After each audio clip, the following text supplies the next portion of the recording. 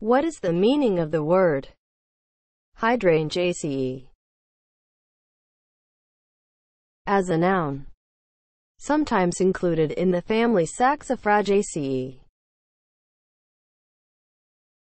Hydrangeaceae is spelled H Y D R A N G E A C E A E Hydrangeaceae